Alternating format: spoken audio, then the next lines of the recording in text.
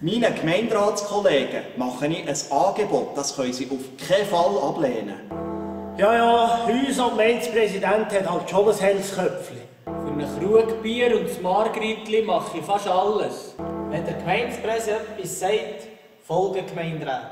Der Gemeinderat führt sich wieder einmal gotteslästerlich auf. Aber denen üben der Geldsäckel schon auf. Also meine Bildschnitte hat der Pfarrer fürs Leben gern. Ernst hat das Gefühl, er hat daheim zu sagen. Aber da mache ich nicht mit. Zum Glück habe ich noch ein Hobby. Ich hoffe, die Glocke hängt gleich im Kirchenturm. Dann kann ich darum heiraten. Mit meiner Fantasie erteile ich diesen aufgeblasenen Gemeinderäten eine Lektion, dass sie noch lange dran rumkätschen. Ich tue Thomas mit all meinen magischen Kräften unterstützen.